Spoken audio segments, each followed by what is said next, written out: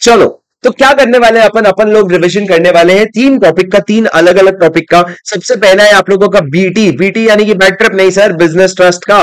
दूसरा आपके investment fund का। और तीसरा अपन लोग बात करने वाले हैं आपके सिक्योरिटाइजेशन ट्रस्ट का। इसमें सबसे ज़्यादा इंपॉर्टेंट है बिज़नेस ट्रस्ट उसके बाद इंपॉर्टेंस में दोनों एक बराबर आते हैं। दोस्तों बिज़नेस ट्रस्ट क्या होता है और बिज़नेस ट्रस्ट का टैक्सेशन कैसे होता है? तो प्लीज़ एक बात समझना, जब हम बिज़नेस ट्रस्ट कहते हैं तो उसमें दो चीज़ें आती है। रियल एस्टेट इन्वेस्टमेंट ट्रस्ट और इंफ्रास्ट्रक्चर इन्वेस्टमेंट ट्रस्ट ये दोनों ट्रस्ट आते हैं। ये दोनों ट्रस्ट क्या कहते, करते हैं? कुछ लोगों से पैसा लेते हैं। जिन लोगों से पैसा लेते हैं, उनको हम कहते हैं यूनिट होल्डर्स ये लोग होते हैं यूनिट होल्डर्स उसके बाद या तो ये लोग डायरेक्टली रियल एस्टेट में इन्वेस्ट करते हैं, या तो डायरेक्टली वो किसमें इन्वेस्ट करते हैं? रियल एस्टेट में इन्वेस्ट करते हैं, जो वो डायरेक्टली ओन करते हैं, या फिर वो किसी एसपीवी में इन्वेस्ट करते हैं, जो एसपीवी आगे चल करके अलग अलग रियल एस्टेट में इन्वेस्ट करता है, जो एसपीवी चल करके अलग अलग रियल एस्टेट में इन्वेस्टमेंट करता है। मेरा सबसे पहला सवाल, जो बिज़नेस ट्रस्ट होते हैं, वो अपने यूनिट्स यूनिट्स इशू करते हैं यूनिट्स होल्डर को। तो क्या ये जो यूनिट्स इशू कर रहे हो, क्या इसका लिस्टेड होना मैंडेटरी है? क्या इसका लिस्टेड होना मैंडेटरी है? जब नया नया बिज़नेस ट्रस्ट का कॉन्सेप्ट आया था ना तो इन्होंने लिस्टिंग मैंडेटरी करवा रखी थी, पर बाद में इन्होंने बोला लिस्टिंग मैंडेटरी नहीं है। तो अभी जो बिज़नेस ट्रस्ट बनते हैं, ज़रूरी नहीं है कि उनके यूनिट जो है वो लिस्ट होंगे। उसके बाद दोस्तों मैंने क्या कहा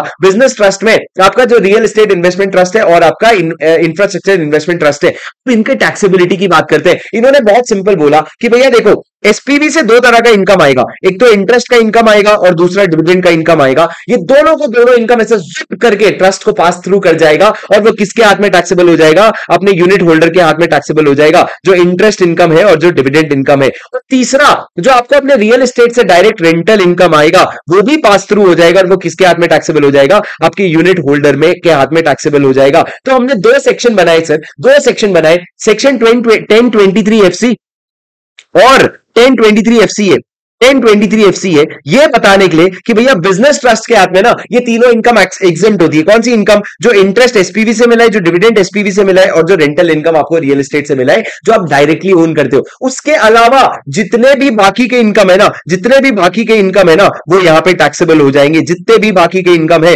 वो यहाँ पे टैक्सेबल हो जाएँगे। सर, ये जो तीन इनकम यहाँ पे है, ये जो तीन इनकम है, ये जो इंटरेस्ट का डिविडेंड का और रेंटल इनकम ये किसके हाथ में टैक्सेबल होंगे? इंटरेस्ट इनकम अपने यूनिट होल्डर के हाथ में। इसका मतलब इसके अलावा जो भी इनकम है, इसके अलावा जो भी इनकम है, जिसका टैक्स कौन भर रहा है ट्रस्ट भर रहा है, वो किसके हाथ में एग्ज़ाम हो जाएगा? वो यूनिट होल्डर के हाथ में एग्ज़ाम हो जाएगा। और ये बात कहाँ लिखी है? ये बात लिखी है ten twenty three F D में कि भैया यूनिट होल्डर के हाथ में वो इनकम जिस पे टैक्स आपके ट्रस्ट ने भर दिया है, वो इनकम जो है वो एग्ज़ाम हो जाएगा दोस्तों। अब इसके बाद एक बात समझो, ये जो टैक्स लग जाएगा आपने बोला ट्रस्ट पे, कौन से रेट पे टैक्स लगेगा? देखो यूनिट होल्डर और ट्रस्ट दोनों की बात करते हैं। यूनिट होल्डर के हाथ में तो टैक्स लगेगा, जो भी इनका स्लैब रेट है उस पर जो भी इनकी स्लैब रेट है, उस पर टैक्स लगेगा। पर जो आपके ट्रस्ट है, उसके हाथ में क्या होगा? सर जो आपके ट्रस्ट के हाथ में दो तरह के इनकम होंगे। एक इनकम जो section one one one A one one two और वन वन टू ए वाले इनकम है मतलब सर जो आपके long term short term income है, वो वाले जो इनकम है ना, वो स्पेशल रेट पे ही टैक्स होंगे।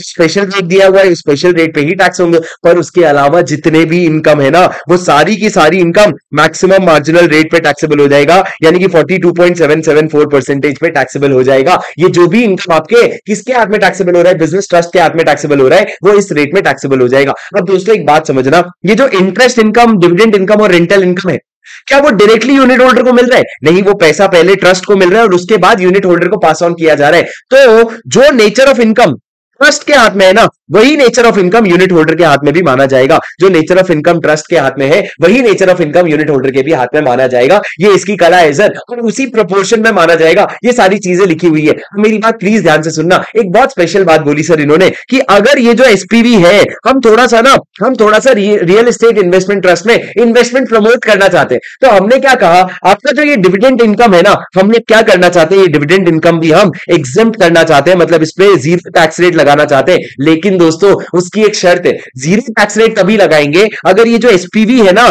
जो डिविडेंड इनकम बांट रही है, उसने 115 बीबीए के लिए ऑप्ट बीएए के लिए ऑप्ट नहीं किया है। 115 बीएए यानी कि क्या, सर? ये स्पेशल रेट ऑफ़ टैक्स है, जहाँ पे आपका टैक्स रेट 22 परसेंट हो जाता है। अगर तुम इनिशियली ही टैक्स रेट 22 परसेंट पे दे रहे हो तो तुम्हारा दिया हुआ डिविडेंड एग्ज़ाम कैसे कर सकते हैं? नहीं कर सकते। पर अगर एसपीवी ने 115 बीएए ऑप्ट नहीं किया है तो जो यूनिट होल्डर है ना, उसके हाथ में डिविडेंड एग्ज़ाम हो जाएगा। मतलब तुम सोचो, अगर एसपीवी ने 115 बीएए ऑप्ट नहीं किया है तो बिज़नेस ट्रस्ट के हाथ में भी एग्ज़ाम है यूनिट होल्डर के भी हाथ में एग्ज़ाम है, दोनों के भी हाथ में क्या हो जाता है? ये एग्ज़ाम हो जाता है। दोस्तों, ये क्या हो गया? ये आपका बेसिक प्रोविज़न हो गया। दोस्तों, इसके बाद और छोटी छोटी कुछ प्रोविज़न है। मेरे को एक बात बताओ, यहाँ पे जो बिज़नेस यहाँ पे जो रीट है ना, मान लो इस साल इन्होंने कितना इनकम कमाया? इस साल इन्होंने दस करोड़ का इनकम कमाया।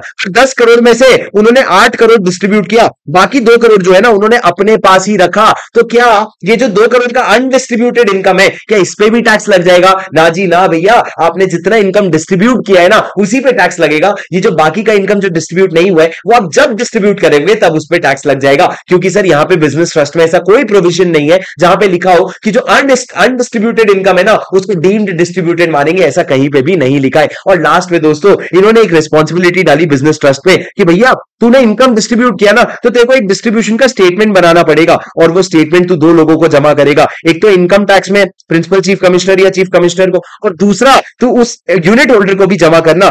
तक जमा करेंगे, सर, ये स्टेटमेंट ये वाले केस में थर्टी नवंबर तक जमा कर देना और ये वाले केस में थर्टी जून तक जमा कर देना। तब जाके हमारा काम हो जाएगा। यूनिट होल्डर के केस में थर्टी जून तक और बाकी के केस में थर्टी नवंबर तक जमा कर देना। सर, ये पॉइंट आपका हर इन्वेस्टमेंट फंड में भी आएगा सिक्योरिटाइजेशन ट्रस्ट में भी आएगा। दोस्तों, अभी मैं आपको बिज़नेस ट्रस्ट के रिलेटेड कुछ और इंपॉर्टेंट सेक्शन बता देता हूँ, जो आपको लोगों के लिए बहुत इंपॉर्टेंट है। प्लीज़ मेरी बात ध्यान से सुनना। सबसे पहला तो सेक्शन वन नाइनटी ई क्या कहता है कि भैया, हर जो बिज़नेस ट्रस्ट होता है ना, उसको मैंडेटरीली अपना रिटर्न भरना पड़ता है। उसको रिटर्न भरना मैंडेटरी है, उसका चाहे बेसिक एग्जेंशन लिमिट के ऊपर हो या नीचे हो, घंटा फ़र्क नहीं पड़ता। उसके बाद दोस्तों, आपने एक सेक्शन 47 17 पढ़ा था, जो क्या कहता है पता है? अगर एक एसपीवी है, उसके शेयर्स शेयर्स आप दे रहे हो किसको? बिज़नेस ट्रस्ट को। बदले में आपको अगर बिज़नेस ट्रस्ट के यूनिट्स मिल रहे हैं ना तो ये जो एक्सचेंज हो रहा है, इसको हम ट्रांसफ़र नहीं मानेंगे और ट्रांसफ़र नहीं मानेंगे तो कैपिटल गेन नहीं लगेगा। और जब ये यूनिट्स आप आगे जाकर के सेल करोगे तो ये यूनिट्स का कॉस्ट ऑफ़ एक्विजिशन क्या माना जाएगा? वही माना जाएगा जो आपके शेयर्स का कॉस्ट ऑफ़ एक्विजिशन था। पीरियड ऑफ़ होल्डिंग क्या माना जाएगा? जब से आप शेयर होल्ड कर रहे हो, तभी से उसका पीरियड ऑफ़ होल्डिंग माना जाएगा। बहुत सिंपल सी बातें हैं। उसके बाद दोस्तों, इसके टीडीएस की बात कर लेते हैं। बहुत इंपॉर्टेंट है। टीडीएस की बात एसपीबी जो है, वो पैसा देता है बिज़नेस ट्रस्ट को और बिज़नेस ट्रस्ट पैसा देता है यूनिट होल्डर को। सबसे पहली बात करते हैं इंटरेस्ट का पैसा। जो इंटरेस्ट का पैसा एसपीबी बिज़नेस ट्रस्ट को देता है आइडियली उसमें टीडीएस कटना चाहिए था। वन ए में। और दोस्तों, क्योंकि ये इंटरेस्ट का इनकम बिज़नेस ट्रस्ट के हाथ में टैक्सेबल ही नहीं है, इसलिए 194 ए में ये टीडीएस एप्लीकेबल नहीं है, वहाँ पे इन्होंने एग्जामेशन बना के रखा है। सिमिलरली एसपीबी जब डिविडेंड का पैसा दे रहा है तो डिविडेंड का पैसा 194 में टीडीएस कटना चाहिए था, पर क्योंकि अगेन टैक्सेबल नहीं है तो टीडीएस नहीं लगेगा। और तीसरा, जो रेंटल इनकम आ रहा है एसपीवी से नहीं डायरेक्टली जो आप असेट ओन करते हो, उससे जो रेंटल इनकम आ रहा है, उस पर वन आई का टीडीएस कटना चाहिए था, पर उन्होंने एक्सेप्शन बना के लिख दिया है कि रियल एस्टेट इन्वेस्टमेंट ट्रस्ट को जो भी रेंटल इनकम का पैसा जाएगा उस पर आप क्या नहीं काटोगे टीडीएस नहीं काटोगे तो ये तीनों सेक्शन अप्लाई नहीं होगा। अब सर सुनो ना बिज़नेस ट्रस्ट आगे यूनिट होल्डर को पेमेंट कर रहा है, यही तीन इनकम का तो टीडीएस टीडीएस काटना पड़ेगा, जी हाँ बिल्कुल काटना पड़ेगा, और वहीं पे पिक्चर में आएगा सेक्शन 194 एलबीए एलबीए क्या कहता है दोस्तों, कि आप पेमेंट यूनिट होल्डर को कर रहे हो तो टीडीएस काटोगे। कितना काटोगे? डिपेंड करता है सामने वाला रेसिडेंट है कि नॉन रेसिडेंट है। अगर सामने वाला रेसिडेंट है तो आप कितना टीडीएस काटोगे दोस्तों? टेन परसेंट का टीडीएस काटोगे अगर सामने वाला रेसिडेंट है, चाहे वो इंटरेस्ट इनकम हो, चाहे वो डिविडेंड इनकम हो, या चाहे वो रेंटल इनकम हो। पर अगर वो सामने वाला नॉन रेसिडेंट है तो आपका रेट्स अलग अलग हो जाएगा। आप इंटरेस्ट के लिए कितना टीडीएस काटोगे? पाँच परसेंट का टीडीएस काटोगे? क्योंकि सर क्योंकि एनआर के हाथ में टैक्सेबल भी उतना ही होगा। आप अगर एक सेक्शन पढ़ोगे वन वन फाइव ए वहाँ पर लिखा है कि एनआर के हाथ में टैक्स भी पाँच परसेंट लगेगा तो आप पाँच परसेंट का टीडीएस काटोगे। दूसरा, अगर आप डिविडेंड इनकम की बात करो तो डिविडेंड इनकम आप टीडीएस काटोगे दस परसेंट पे, पर उसके हाथ में टैक्सेबल होगा बीस परसेंट पे। तीसरा, जो आपका रेंटल इनकम है, वो आप रेट्स एंड फोर्स के हिसाब से काटोगे। रेट्स एंड फोर्स मतलब क्या? सेक्शन 195 के हिसाब से काटोगे। आप 195 के हिसाब से टीडीएस देख लेना। ये कहाँ पे लिखा हुआ है? 194 एलबीए में लेकिन इसके साथ साथ सर, आप एक कॉम्प्लीमेंट्री पढ़ लेते हो 194 एलसी 194 एलसी 194 एलसी क्या बात करता है? एक स्पेसिफिक चीज़ के बारे में बात करता है। अगर आपने एनआर से फॉरेन करेंसी में बॉन्ड वॉन्ड इशू किया है उस पर अगर आप इंटरेस्ट का पेमेंट कर रहे हो ना तो लॉ ने कहा यूजुअली पाँच परसेंट का टीडीएस कटता है। लेकिन दोस्तों लेकिन दोस्तों, ये जो तुम्हारा बॉन्ड्स तुमने इशू किया है ना, अगर वो लिस्टेड है कहाँ पे? रिकॉग्नाइज स्टॉक एक्सचेंज में। कौन से वाले रिकॉग्नाइज स्टॉक एक्सचेंज में? आईएफएससी के आईएफएससी के रिकॉग्नाइज स्टॉक एक्सचेंज में। तो दोस्तों, अगर ये आपका थर्टी फ़र्स्ट जुलाई डेट क्या था सर आपका? डेट क्या था? ये जुलाई का डेट था कि भैया, अगर ये आपका first July sorry first July 2023 के पहले ये बॉन्ड इशू हो रखा था तो आपको चार परसेंट का टीडीएस कटता, लेकिन अगर फ़र्स्ट जुलाई के बाद 2023 के बाद अगर ये इशू हो रखा है ना तो नौ परसेंट का टीडीएस कटेगा। किस पे? जो इंटरेस्ट का पेमेंट कर रहे हो आप उस पे। पाँच परसेंट चार परसेंट नौ परसेंट कहाँ पे लिखा है? वन नाइनटी फोर एलसी ये थोड़ा अलग ही प्रोविज़न है सर पर वन एलसी का ये कब पेमेंट हो रहा है? जब कोई बिज़नेस ट्रस्ट पेमेंट कर रहा है, कोई फॉरेन करेंसी बॉन्ड या लोन को? उसमें जो इंटरेस्ट जा रहा है, वो 194 एलसी में अट्रैक्ट होगा। अरे, तू मेरी बात समझे क्या सर अरे डिड यू अंडरस्टैंड 194 एलबीए कब लगता है? ध्यान वो जब जो आप इंटरेस्ट की बात कर रहे हो ना, वो इंटरेस्ट एसपीवी से आए एसपीवी के अलावा अगर कोई इंटरेस्ट की बात कर रहे हो ना तो 194 एलसी में चला जाएगा। ये आपका पूरा का पूरा बिज़नेस ट्रस्ट का कॉन्सेप्ट है along with each and every section in detail उसके बाद दोस्तों, बाकी जो दो है, वो इतना इंपॉर्टेंट नहीं है। मतलब इंपॉर्टेंट नहीं है मतलब कॉन्सेप्चुअली वही पॉइंट्स आएँगे। अभी आपका जो इन्वेस्टमेंट फंड होता है इन्वेस्टमेंट फंड क्या करता है सर इन्वेस्टमेंट फंड आपसे पैसा लेता है, आपको अपना यूनिट होल्डर बनाता है, और यूनिट होल्डर बनाने के बाद आपका पैसा इन्वेस्ट करता है। पैसा इन्वेस्ट करने के बाद जो भी इनकम आती है, उसको वो डिस्ट्रीब्यूट कर देता है। तो हमने बोला कि इन्वेस्टमेंट फंड के हाथ में पीजीबीपी इनकम टैक्सेबल हो जाएगा। मतलब इसके हाथ में पीजीबीपी इनकम एग्जिट हो जाएगा। और उसके अलावा जो भी अदर इनकम है, वो इन्वेस्टमेंट फंड के हाथ में एग्जिट हो जाएगा और वो अपने यूनिट होल्डर के हाथ में टैक्सेबल हो जाएगा। मतलब पीजीबीपी के अलावा जो भी इनकम है ना, वो यूनिट होल्डर के हाथ में टैक्सेबल हो जाएगा। सर, कौन से रेट पे टैक्सेबल होगा? दोस्तों, ये वाला तो स्लैब रेट पे टैक्सेबल होगा। ये वाला तो स्लैब रेट पे टैक्सेबल होगा। और पीजीबीपी इनकम का क्या? वो डिपेंड करता है। अगर आपका इन्वेस्टमेंट फंड कंपनी है तो जो कंपनी के लिए रेट है, क्या रेट है कंपनी के लिए? या तो थर्टी परसेंट या twenty five percent twenty five percent कब? जब आपका प्रीवियस ईयर का टर्नओवर जो है वो चार सौ करोड़ या उससे कम है।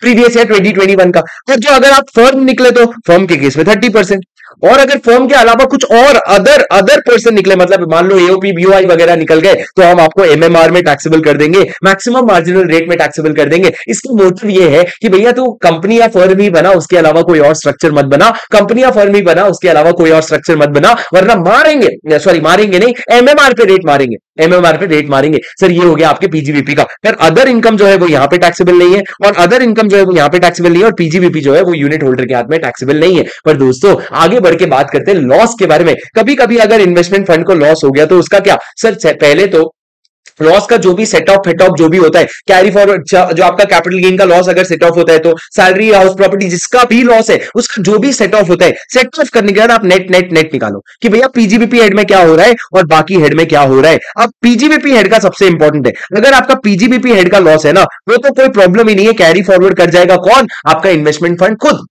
पर अगर पीजीबीपी के अलावा किसी अदर हेड का लॉस है ना तो वैसे तो अदर हेड का गेन यूनिट होल्डर के हाथ में टैक्सेबल होता है। तो अदर हेड का लॉस क्या होगा? आइडली यूनिट होल्डर को कैरी फॉरवर्ड करने बोलना चाहिए।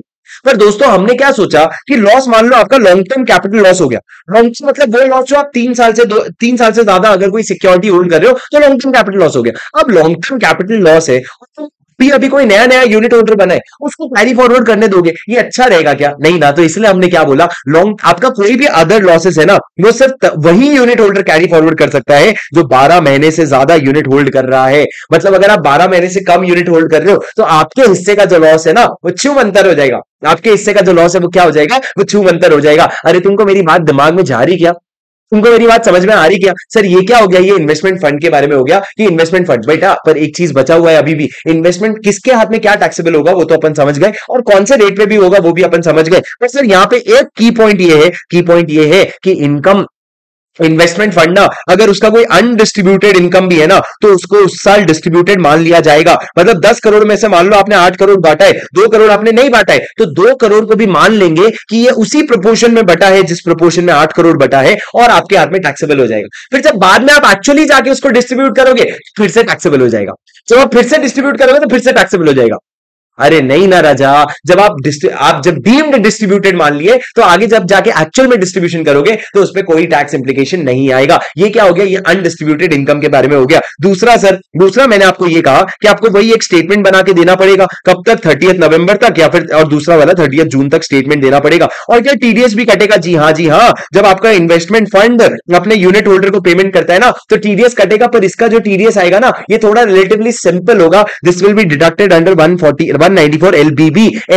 ऊपर एलबीए था, यहाँ पे एलबीबी आ गया। सर एलबीबी में क्या रेट ऑफ़ टैक्स लगेगा? वो डिपेंड करता है कि आप रेसिडेंट को पेमेंट कर रहे हो कि नॉन रेसिडेंट को पेमेंट कर रहे हो। अगर आप रेसिडेंट को पेमेंट कर रहे हो तो आपका टीडीएस कटेगा दस परसेंट पे। पर अगर आप नॉन रेसिडेंट को पेमेंट कर रहे हो या फॉरन कंपनी को पे कर रहे हो तो आपको रेट्स एंड फोर्स लगेंगे। मतलब जो आपका बेसिकली 195 के रेट्स है, वो एप्लीकेबल हो जाएँगे। ये क्या हो गया? आपका 194 एलबीबी आ गया। मेरी बात समझे क्या? और लास्ट कॉन्सेप्ट आपका सिक्योरिटाइजेशन ट्रस्ट का है। सिक्योरिटाइजेशन ट्रस्ट क्या कहता है राजा? मेरी बात ध्यान से सुनना। सिक्योरिटाइजेशन ट्रस्ट का कॉन्सेप्ट बहुत सिंपल है।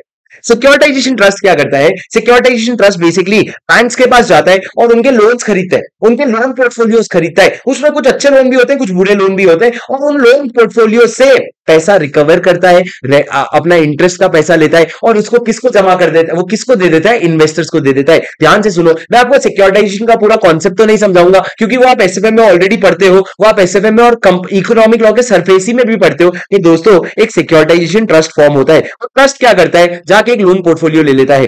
ट्रस्ट लोन पोर्टफोलियो लेने के लिए पैसा कहाँ से लाता है? वो पैसा लाता है इन लोगों से जिसको हम इन्वेस्टर का नाम देंगे, ना कि यूनिट होल्डर ये इन्वेस्टर इसको पैसा देता है और ये जाकर के, मान लो डेढ़ सौ करोड़ का लोन पोर्टफोलियो है, जिसको कितने में खरीद लेता है? सौ करोड़ में। क्योंकि उसमें से कुछ तो बैड डेट्स भी होने वाले हैं, वो बैंक को भी पता है और इसको भी पता है। और फिर वो क्या करता है, पूरी ताकत लगाता है ये सौ करोड़ के लोन पोर्टफोलियो से 120 करोड़ रिकवर करने का, ताकि इनका फ़ायदा हो जाए। और जब तक वो रिकवरी होती है, तब तक ये सौ करोड़ पे आपको फिक्स्ड इंटरेस्ट तो मिलता ही रहता है। वो इंटरेस्ट को आप क्या करते हो, वो आप अपने इन्वेस्टर तक पास ऑन करते हो। तो दोस्तों, इसमें टैक्सेबिलिटी में हमने क्या बोला सिक्योरिटी ट्रस्ट के सिक्योरिटाइजेशन ट्रस्ट के हाथ में पूरा का पूरा एग्जेंट है, और इन्वेस्टर के हाथ में पूरा का पूरा टैक्सेबल है। पूरा का पूरा इसके हाथ में एग्जेंट है। और पूरा का पूरा उसके हाथ में टैक्सेबल है। अब दोस्तों, पूरा का पूरा टैक्सेबल है तो टीडीएस तो आएगा ना तो हमने इसके लिए बनाया वन नाइनटी फोर ले। BC LBC sir 194 LBC section आया। उसमें हमने क्या बोला? टीडीएस क्या रेट पे कटेगा? अरे राजा, वापस से डिपेंड करेगा कि सामने आर है कि एनआर है अगर आर है तो अलग एनआर और फॉरेन कंपनी है तो अलग। आर एनआर और फॉरेन कंपनी में तो बहुत आसान कर दिया इन्होंने। रेट्स एंड फोर्स लिख दिया, मज़े ही मज़े हो गए पार्टी पार्टी हो गया। पर दोस्तों, अगर रेट्स की अगर आर की बात करूँ तो इन्होंने डिवाइड किया कि सामने वाला जो इन्वेस्टर है वो इंडिविजुअल एच है, या सामने वाला जो इन्वेस्टर है वो अदर देन इंडिविजुअल एच है। अगर इंडिविजुअल एचयूएफ है तो हमने बोला, सर 25 परसेंट पे हम क्या लगाएँगे? 25 परसेंट पर एनम पे हम इंटरेस्ट लगाएँगे। रुक जाओ।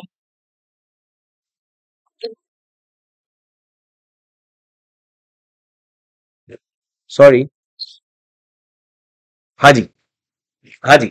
और अगर अदर देन इंडिविजुअली एच है तो अपन क्या कर देंगे? तीस परसेंट का टीडीएस लगा देंगे और अपना काम हो जाएगा। ये तीनों हमारा पूरा प्रॉपर रिविजन है। तीनों ट्रस्ट का, तीनों अलग अलग का बिज़नेस ट्रस्ट का इन्वेस्टमेंट फंड का और सिक्योरिटाइजेशन ट्रस्ट का। अरे, तुमको समझा क्या? हाँ सर